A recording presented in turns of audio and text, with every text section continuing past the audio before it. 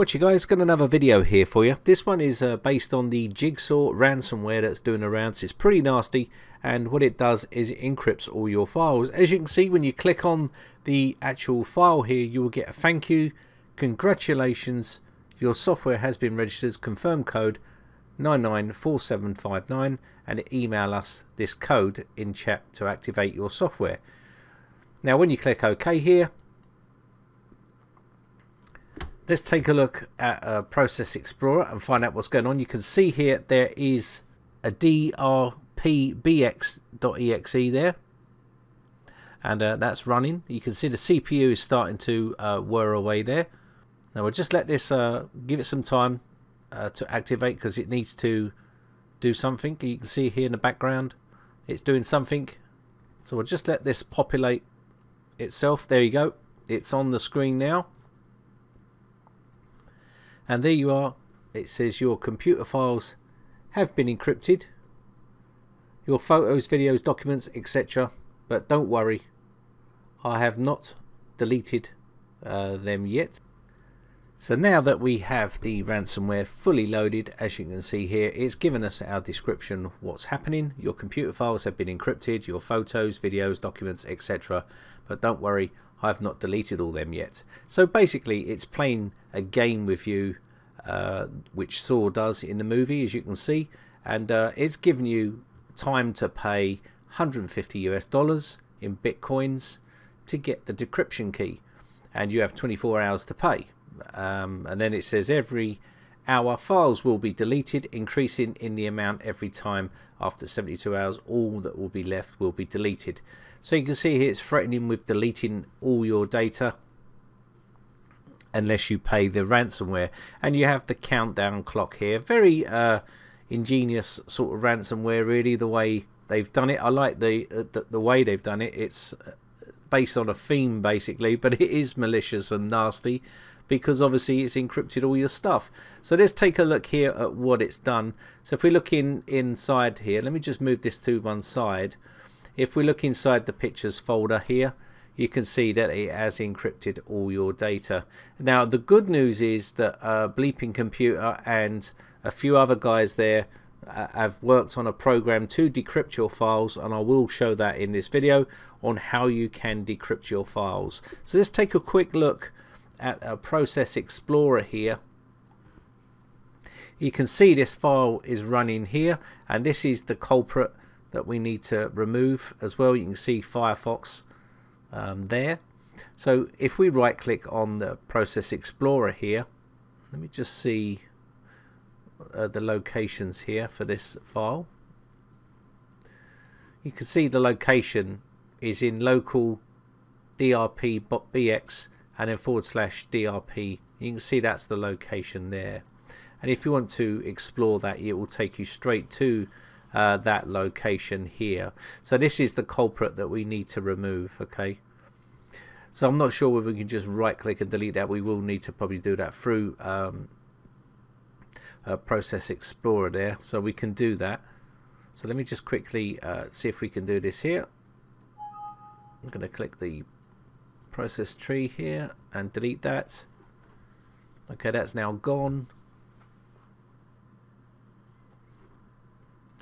So we have this file on the desktop here, which is the file that started all this off. Um, so what we want to do here now is I'll show you the Bleeping Computer website that actually offers a tool where you can decrypt all your files. Okay, so as you can see, I'm at Bleeping Computer's website now, and I will put the link in the description for this uh, Jigsaw ransomware decryption tool to decrypt your files. So you can see here it's a pretty new uh, ransomware. It's not been around that long. Uh, Lawrence Abrams and also uh, malware hunter team Demon Slay 335 and also uh, himself, which is uh, Lawrence Abrams has created a tool which will allow you to decrypt your files. So you can just hit this download link. I will put the link in the description for you. Now, a thing to remember is when you're before you start doing this make sure you delete this uh, ransomware as soon as possible uh, because on reboot you can see here it says finally jigsaw will set an auto run that starts the ransomware each time you log into Windows. Unfortunately, each time the ransomware starts, it will also delete 1000 of your encrypted files, and that can be quite devastating um, to people if they especially want those particular files back. Once they're gone, they're gone. So this will encrypt all your data, but just bear that in mind. Just try and get rid of the ransomware straight away without rebooting, and and then you can uh, decrypt all your uh, files. So you can see here also it gives you the path to where all these file files reside so where you can get rid of them. I've already shown you some of these places but we'll take a look at these in a second. So let's get started with that as well. So you can see here the registry key here as well. You can use this as a reference if you want to to go to these locations.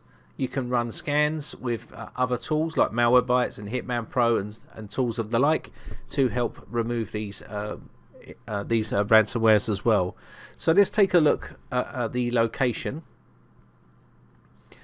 So we're going to go into the C drive here and then users and then into the account that's infected here. Now you're going to need to make sure that you go to organize folders and search options, view and then show hidden files, folders and drives. Um, we're going to take the tick out of hide ex file extensions and also I'm just going to remove the tick out of the operating system files just to make sure we can see everything. Now we've done that we can see the app data folder and now we can see the roaming folder. You can see this folder here system work system 32 work and this is where uh, these files are here. So what we're going to do is going to get rid of this. Now remember we've already killed that process with Process Explorer so bear that in mind the process for that has stopped running. Um, if I run this up here you'll see it's not actually running on the system. If I reboot the system it without deleting those files it will restart. So just bear that in mind. And uh, what we're going to do here is go back to our roaming area. And you can see there is another one here. There's no Firefox on this system. Um, but if you look here this was related to it as well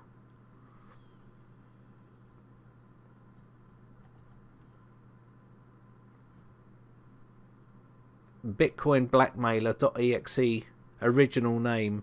So you can see here when we right click on this Firefox uh, exe file it's given us the information here the file version file uh, Firefox uh, product version which can be quite misleading because you can see the copyright is to Firefox and Mozilla um, but when you look down further here you get the original file name is bitcoinblackmailer.exe so we know that that's moody and that needs to come off the system. So we're just going to delete this. And we're going to go back. And then we're going to go into local here.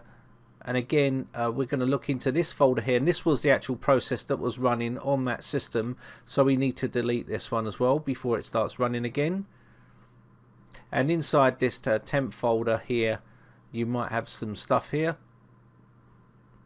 So we can always delete uh, some stuff in here. So I'm just going to do this anyway.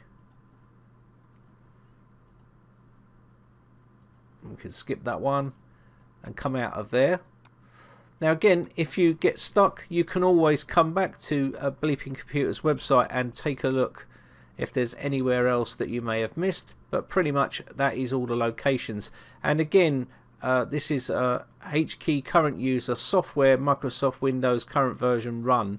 And you'll see that there. Now you could download Autoruns and that will do that for you. If you don't want to go into the registry and let's just take a look at Autoruns. I can get that for you.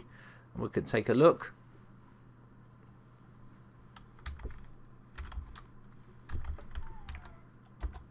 So we'll just download Autoruns from sysinternals. Now again you can go do this manually if you're more experienced uh, with this sort of stuff but I'm trying to keep it simple for people that aren't familiar with the registry and they may get a bit daunted. So we'll just keep this nice and simple. Um, we're going to run this here. I'm just going to click run agree and let that open up. And again here we're just going to expand this a little bit so we can see what we're doing here So if we take a look through here, what we're looking for is that file location here. You can see that one there. So we can we can delete this this one here. So now that's now removed there. Okay guys, so the next part for me was to uh, download the program for you. I did show you the downloaded part, but that bit got encrypted. Um, and I wanted to show you the decryption part, but I can't because Bleeping Computer's download uh, part is not working. As you can see, it's uh, not letting me download. And I think it's either they're having bandwidth issues or they get DDoSed or, or or wherever it is, they may be updating a server or something. It's just not letting me download this file. And I've tried it on my computer and also on the virtual machine and on a laptop. It's still not letting me download it. So I can't show you this part, but it is straightforward and I'll explain it to you quickly. Uh, select the directory and then decrypt your files. It's that simple. It, it can't be more easy than that. Once you've selected directory, uh, decrypt your files. You should see files decrypted. Let me just quickly show you what that means in a nutshell. You just go to the location like say pictures this is a directory, that's what they mean by directory. You select this area and this has got all your decrypted files in it and uh, sorry encrypted files in it and then you just push decrypt and it should decrypt those files for you. I was hoping to show you that part but obviously I can't. If I get time later on and they have fixed that issue I will add that bit in the video but I'm running out of time now so I pretty much doubt it's going to be on the video. So anyway with that said, I'm hoping you enjoyed it. This one's uh, going to be done. So my name is Brian from briteccomputers.co.uk. I hope you enjoyed the video, guys. If you do and you find it useful or you think it'll help someone, then share it with your friends. Also, give it a thumbs up. And also hit the subscribe button if you want to be notified when I upload new videos.